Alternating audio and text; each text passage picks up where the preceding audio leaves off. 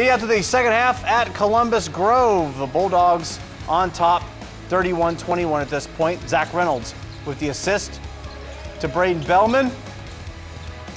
Bellman, spin, gets his man up and over, and finishes at the basket. 14 point lead for Grove. Now, same players, opposite roles. This time getting it to Reynolds, and the layup is good. Grove up 16.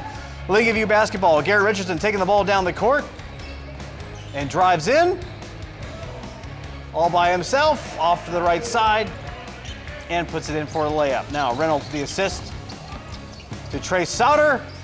Sauter drives in for the layup, 14 point lead for Grove. Now Sauter brings the ball down court and drives right in, floats that shot over, gets the friendly rim. 41-25 Columbus Grove. Cole Binkley for, for Lincolnview bring the ball down. Left side of the basket around the rim and in, but Columbus Grove getting the job done tonight.